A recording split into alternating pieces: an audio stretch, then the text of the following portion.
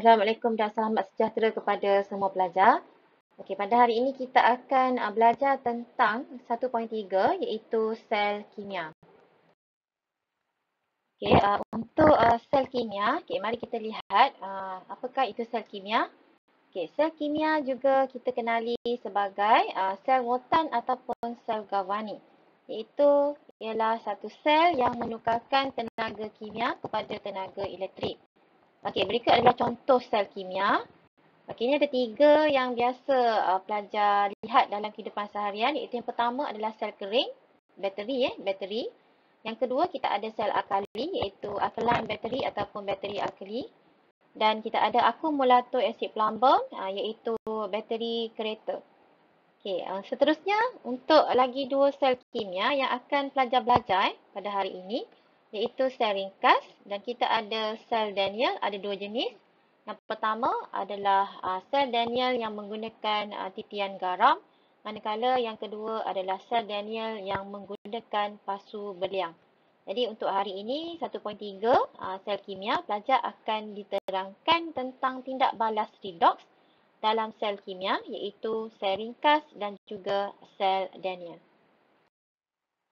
Okay, belajar. Okay, mari kita lihat uh, untuk yang pertama uh, sel ringkas tadi ya. Okay, di sini adalah uh, satu gambar rajah contoh satu sel ringkas iaitu sel kimia ringkas.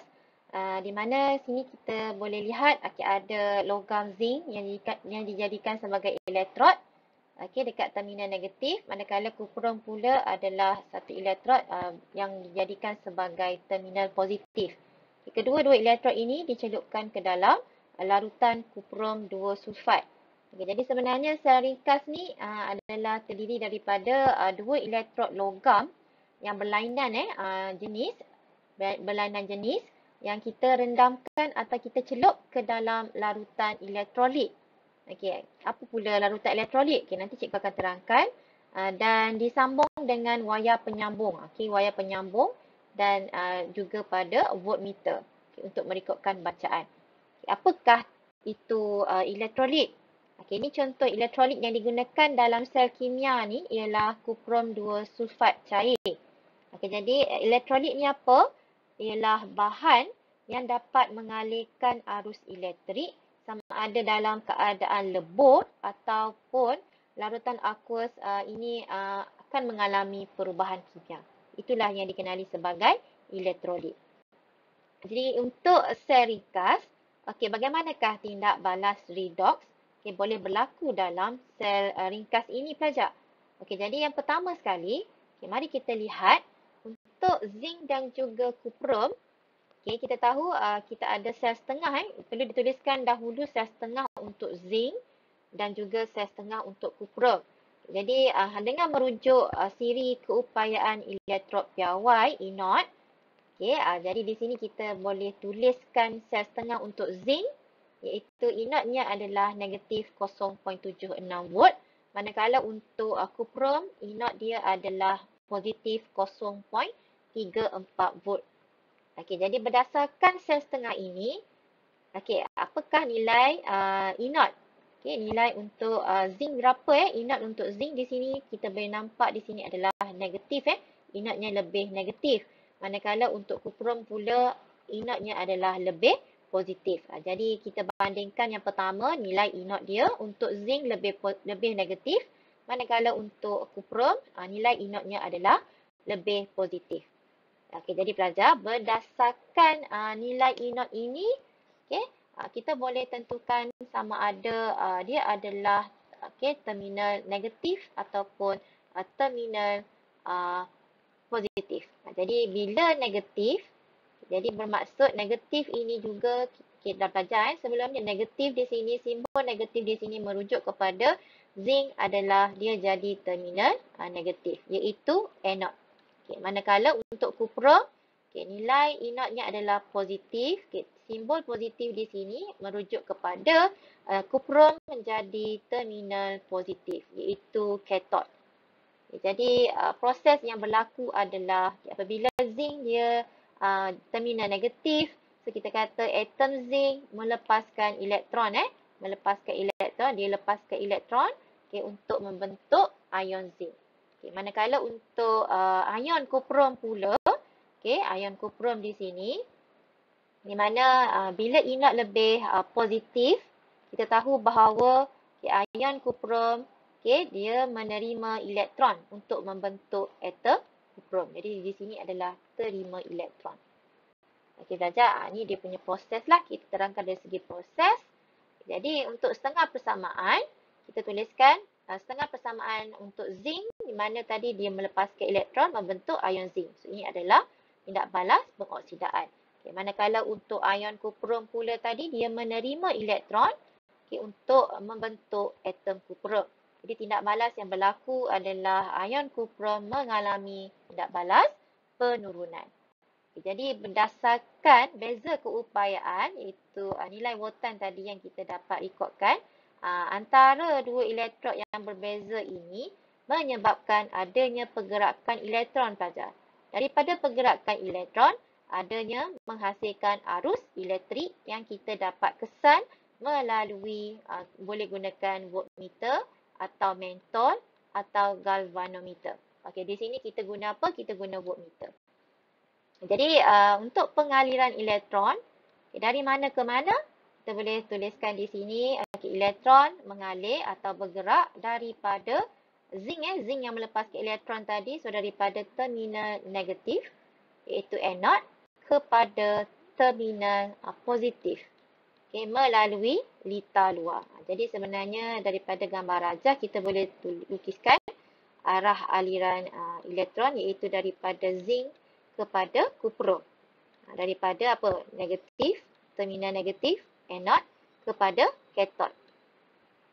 Okey, seterusnya untuk arus elektrik pula. Okay, dari mana pula uh, pengaliran arus elektrik? Jadi arus elektrik ni bergerak mengalir, ha, dia terbalik eh. Kalau tadi elektron negatif ke positif. Okay, manakala untuk arus elektrik pula uh, daripada terminal positif kepada negatif. Okay, jadi pelajar perlu tahulah bagaimanakah arah aliran untuk elektron dan juga elektrik. Okay, seterusnya uh, kita lihat pula untuk sel Daniel. Okay, seperti mana tadi dalam contoh sel kimia. Uh, sel DNA ada dua. Eh. Yang pertama, kita gunakan uh, pasu berliang okay, untuk pisahkan larutan uh, zinc sulfat cair dan larutan kuprum 2 sulfat cair. Uh, di sini kita ada dua elektrod logam iaitu zinc dengan kuprum yang masing-masing kita uh, celupkan atau rendamkan dalam larutan aqueousnya. Contoh di sini adalah zinc dalam zinc sulfat manakala kuprum dalam uh, kuprum 2 sulfat cair. Dan kita pisahkan kedua dua larutan menggunakan pasu beliang dan kedua-dua elektrod ini disambungkan dengan wayar penyambung. Okay, manakala untuk uh, sel Daniel yang menggunakan titian garam, contoh titian garam adalah asid sulfurik okay, di mana uh, kita uh, hubungkan eh hubungkan uh, kedua-dua uh, sel ini iaitu zinc yang dicelup dalam zinc sulfat manakala kuprum dalam kuprum 2 sulfat cair ini kita hubungkan uh, menggunakan titian garam. Dan kedua-dua logam ini juga disambungkan kepada voltmeter ataupun uh, melalui wayar penyambung. Jadi di sini untuk sel Daniel ni apa?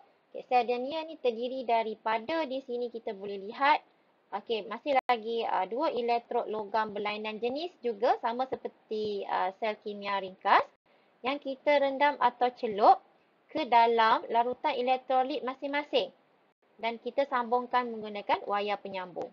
Dan uh, kedua-dua larutan elektrolit tersebut kita boleh hubungkan sama ada uh, menggunakan titian garam okay, seperti dalam gambar rajah uh, yang kedua ni dan satu lagi juga kita boleh asingkan kedua-dua menggunakan uh, pasu beliang. Okay, jadi apa fungsi uh, pasu beliang dan titian garam?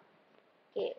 Fungsi pasu beliang dan juga titian garam adalah untuk membenarkan ion-ion mengalir melaluinya dan juga bagi mengimbangi cas dan melengkapkan lita. Okay, bagaimana uh, tindak balas redox kita boleh terangkan dalam sel Daniel eh, bagaimana tindak balas redox boleh berlaku dalam sel kimia iaitu sel Daniel ni. Okey, yang pertama sekali sama seperti tadi juga belajar, kita boleh lihat kepada uh, apa sel setengah lah. Untuk sel Daniel tadi uh, zinc dicelupkan dalam larutan aqueousnya iaitu yang mengandungi ion zinc.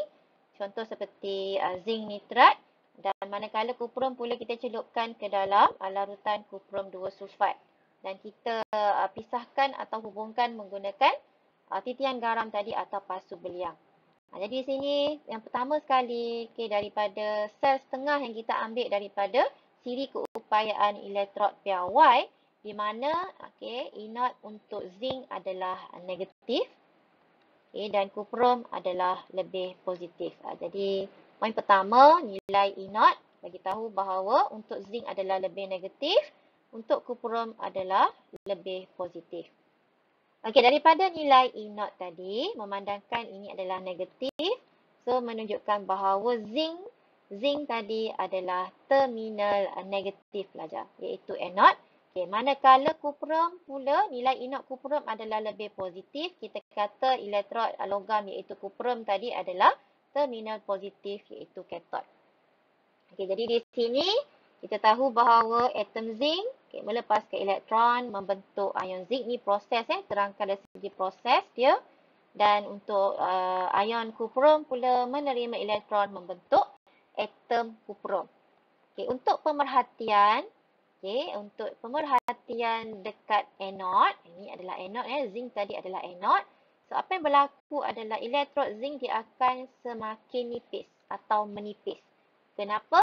sebab tadi kita tahu bahawa zinc telah pun ditukarkan ataupun melepaskan elektron membentuk ion zinc. Jadi zinc telah melarut ataupun semakin menipis. Okay, manakala dekat katot pula, elektrod kuprum akan jadi semakin tebal. Okay, kenapa semakin tebal? Sebab tadi ion kuprum ia menerima elektron membentuk atom kuprum. Ha, jadi atom kuprum tu yang terbentuk akan menyebabkan elektrod kuprum menjadi semakin tebal. Okay, dari segi pemerhatian pada warna larutan asal kuprum 2 sulfat pula. Okay, jadi warna larutan kuprum 2 sulfat akan menjadi semakin pudar. Okay, kenapa?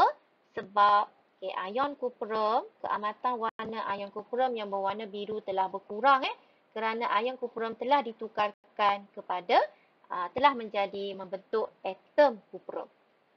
Di sini tindak balas yang berlaku di anode adalah pengoksidaan manakala dekat katot adalah penurunan. Dan untuk setengah persamaan, pelajar boleh tuliskan rujuk kepada yang tadilah proses tadi di mana zinc tadi melepaskan elektron membentuk ion zinc. Yang manakala ion kuprum menerima elektron membentuk atom kuprum. Okay.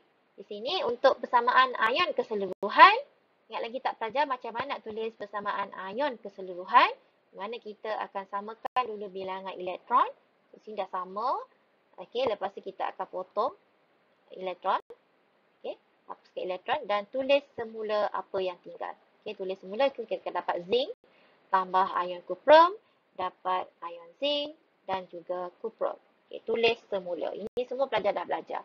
Jadi, uh, di manakah, bagaimanakah dengan arah pengairan elektron? Sama seperti dalam sel ringkas, untuk elektron mengalir daripada negatif, eh, terminal negatif kepada positif. Ha, jadi terminal negatif di sini adalah elektrod zinc, okay, zinc ke terminal positif iaitu elektrod kuprum melalui wayar penyambung ataupun litar luar.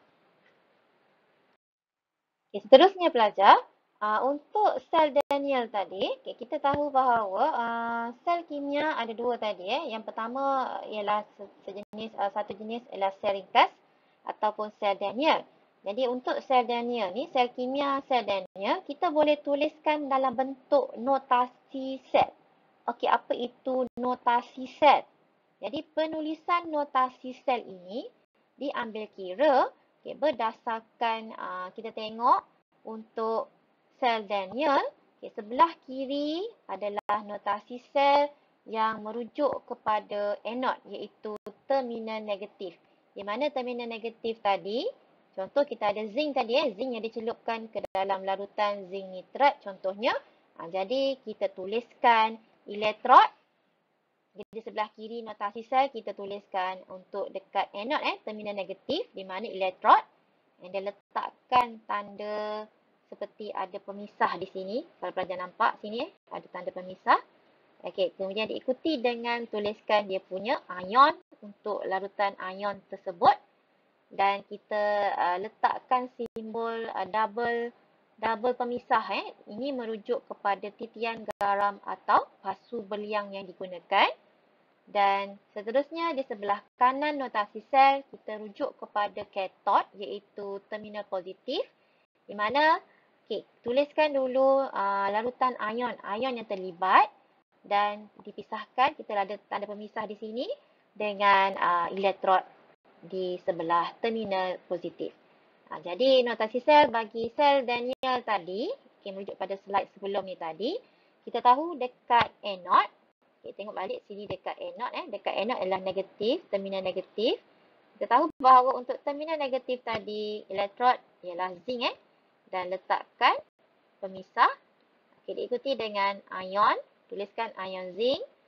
Okay, dan kita letakkan simbol ini merujuk kepada titian garam. Okay, kita tuliskan di sebelah kanan notasi sel adalah ion kuprum. Okay, and then separate kat sini. Ada apa? Kita ada apa dalam larutan uh, yang kuprum tadi? Kita celupkan apa? Celupkan uh, kuprum. Iaitu yang menjadi uh, terminal positif.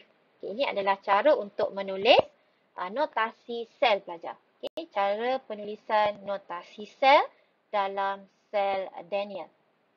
Okay, untuk pengiraan pula, kita tahu uh, di sini kita uh, untuk mengira watan sel. Okay, watan sel. Bagaimana nak kira watan sel untuk uh, sel tadi, eh, sel Daniel tadi contohnya.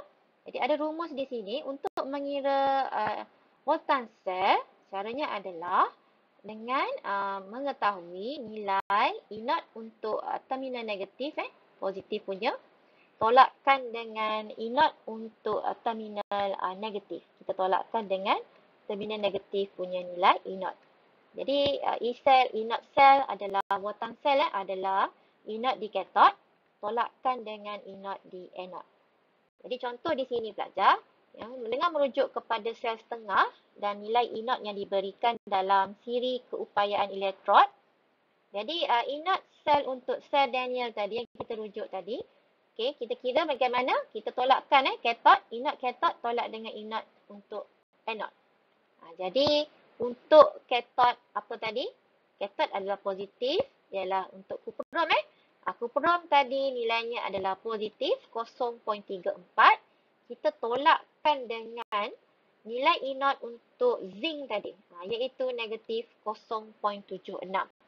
So di sini tolak-tolak adalah tambah So, tambahkan kedua-dua nilai, kita akan dapat uh, watan sel adalah, jawapan dia adalah positif 1.10 volt. Okey, jom kita jawab uh, soalan uh, latihan modul. Eh. Kita bincangkan sama-sama untuk uh, latihan soalan modul. Okey, cuba lihat latihan uh, 34. Okay. Dia nak tuliskan notasi sel. Eh bagi sel kimia berikut. Rujuk kepada siri keupayaan elektrod piawai. Okey, jadi untuk menulis notasi sel pelajar, yang pertama sekali kita akan rujuk kepada uh, siri keupayaan elektrod piawai di mana daripada situlah kita tahu yang manakah anod, yang manakah katot. Ha, jadi daripada situ juga kita akan tuliskan persamaan ion dan daripada persamaan ion, okay, tulis dalam bentuk notasi set. Okey, tengok yang pertama. Untuk B, A dah bagi jawapan. Eh. A dah bagi jawapan. Di mana untuk A tadi, persamaan ion dia adalah zinc tambah dengan ion zinc. Okay, menghasilkan uh, ion zinc dan juga kuprum. Uh, di mana tadi kita tahu bahawa zinc uh, nilai inotnya adalah lebih negatif berbanding dengan uh, kuprum tadi. Okay, nilai inat untuk zinc lebih negatif berbanding dengan kuprum. Uh, jadi zinc adalah terminal. Terminal apa belajar? Terminal negatif. Okay, berbanding dengan uh, kuprum tadi adalah terminal uh, positif. Uh, jadi untuk B pula kita ada plumbum dan juga argentum. Okay, jadi daripada uh, sel kimia yang diberikan ini, kita rujuk kepada rujuk kepada siri keupayaan elektrod piawai. Okay, di mana sini dah tuliskan eh, kat sini adalah plumbum lepaskan elektron. Ha, di sini argentum terima elektron. Ha, jadi untuk negatif sebenarnya adalah plumbum, untuk positif adalah argentum. Okay. First kali tuliskan persamaan ion. Di sini kita nak tulis persamaan ion, mesti samakan dulu bilangan elektron. So, sini ada dua, sini ada satu elektron. Tak sama. So, kena darabkan semua dengan dua. Jadi, pelajar akan dapat 2 Ag plus tambah 2 elektron dapat 2 Ag iaitu 2 silver. So, lepas tu kita hapuskan atau potong elektron. Eh, dah darab 2, 2, 2. Okay, boleh potong elektron dan tuliskan apa yang tinggal. So, pelajar akan dapat tulis samaan ion. Okay, seperti inilah. Okay, ini kita dah darabkan dengan 2 tadi.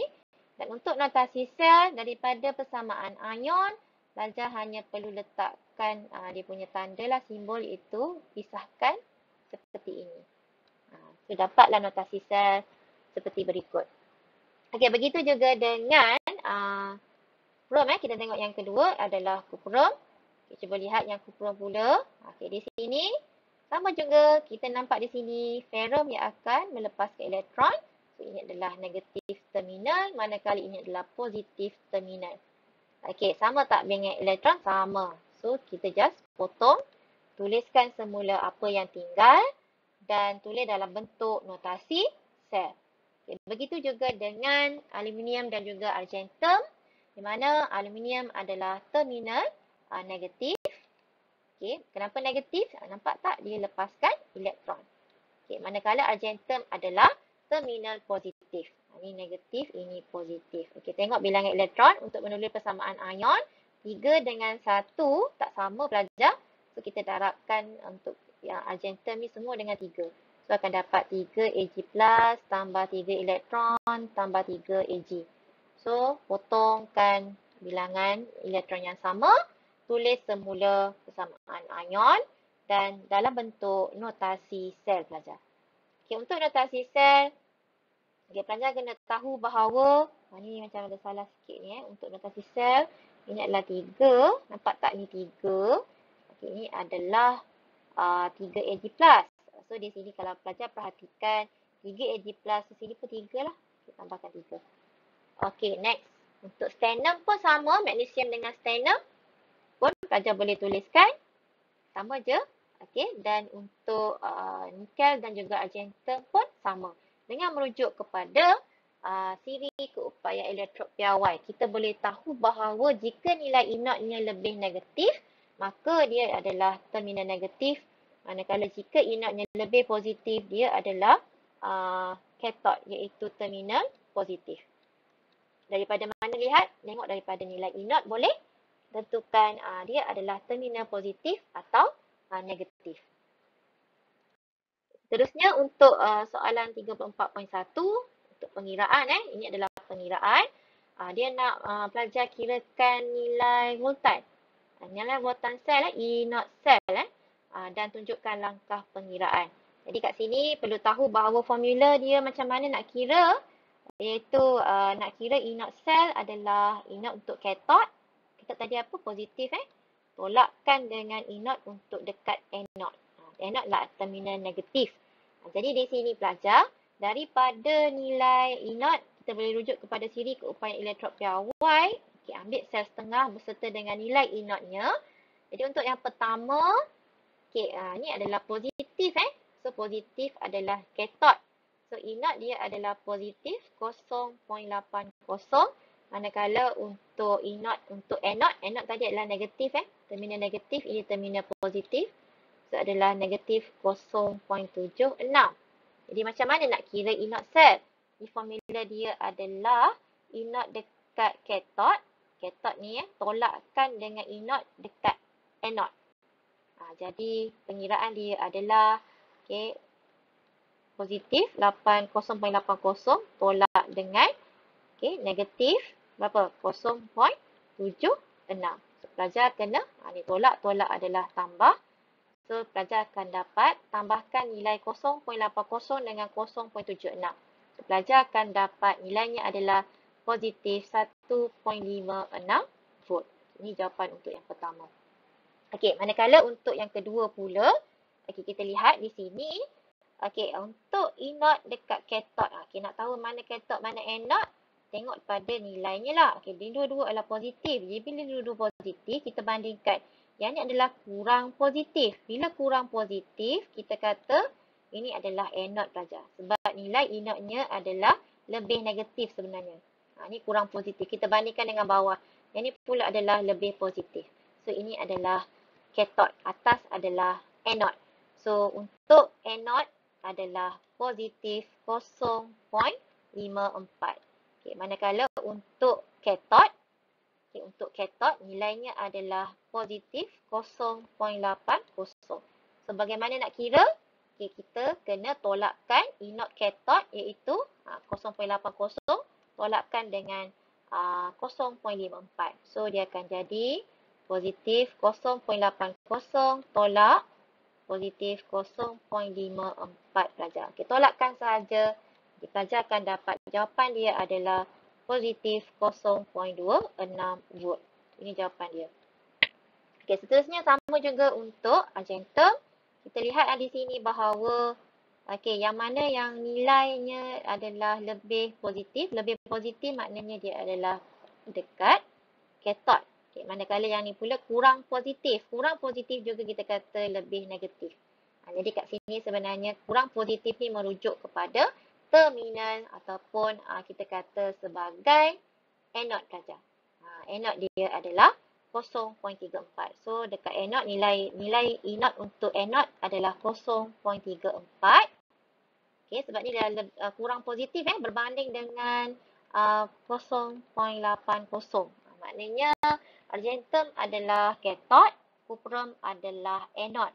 Jadi tolakkan sahaja pelajar 0.80 tolak positif 0.34 pelajar akan dapat jawapan bila dah tolakkan adalah positif 0.46 volt. Ini jawapan untuk yang uh, ketiga. Okay, yang ketiga. Dan seterusnya pelajar, okay, cuba pelajar uh, kira. Cuba pelajar kira dan uh, kita akan tunjukkan jawapan. Eh. Untuk jawapan seterusnya, pelajar sepatutnya dapat 1.61. Manakala seterusnya adalah 1.53. Ini jawapan cikgu bagi terus dan yang ketiga adalah 0.29. Okey, cuba pelajar jawab. Okey, cikgu nak uh, pelajar cuba jawab dan dapat tak jawapannya? Okay, dapat tak jawapannya? Okey, okay, seterusnya pelajar. Okey, uh, cuba kita lihat uh, latihan 35. Okey, ini ada gambar rajah sel ringkas iaitu antara uh, elektrod magnesium dan juga argentum. Jadi berdasarkan ciri keupayaan elektrod piawai, nilai inot untuk magnesium adalah lebih negatif. Okey, manakala untuk argentum, okey, kita tahu bahawa uh, argentum nilai inot dia adalah lebih uh, positif. Jadi di sini berdasarkan daripada uh, nilai inot ini, okay, kita dapat tentukan Okey, terminal yang tadi belajar, terminal di mana kita tahu bahawa ah okey sini negatif, okey untuk argentum adalah terminal positif. Okey, jadi okey dekat uh, uh, negatif terminal berlakunya oksidasi. Okey, manakala dekat katot iaitu terminal positif berlakunya penurunan. Okey, dan ejen penurunan okey di sini adalah magnesium eh. Okay, manakala ejen pengoksidaan adalah ion argentum. Okay. So, untuk proses, kita terangkan dari segi uh, terima atau lepaskan elektron. Jadi, magnesium, kita tahu dia adalah ejen pengoksidaan. So, magnesium, atom magnesium melepaskan elektron membentuk ion magnesium. Manakala ion argentum menerima elektron membentuk atom magnesium. Untuk setengah persamaan, okay, pelajar tuliskan seperti biasa. Okey, dan untuk uh, sebelah sini pula adalah untuk ion uh, argentum menerima elektron membentuk atom argentum. Ini untuk setengah persamaan uh, penurunan. Dan pemerhatian, okey, magnesium melarut atau kita kata magnesium semakin menipis. Manakala untuk pemerhatian di katot pula, uh, pepejal kelabu terbentuk. Pepejal kelabu ni adalah atom argentum tadi. Okay, itu silver lah, silver berwarna kelabu. Dan dalam modul belajar, okay, uh, ada ditulis tentang notasi sel, eh, notasi sel. Jadi pelajar tolong cancelkan di bahagian row ini eh, yang saya telah warnakan kelabu ni. Pelajar cancelkan notasi sel sebab dalam sel ringkas uh, tiada notasi sel. Okay, notasi sel hanya ada uh, hanya libatkan uh, sel Daniel sahaja. Okey, sel Daniel sahaja. Okey, dan untuk arah elektron, okay, elektron mengalir daripada okay, negatif terminal tadi iaitu magnesium kepada positif terminal iaitu argentum. Jadi pelajar, okay, untuk hari ini uh, cuba jawab aktiviti 1G, okay, buku teks dan juga uji diri 1.3.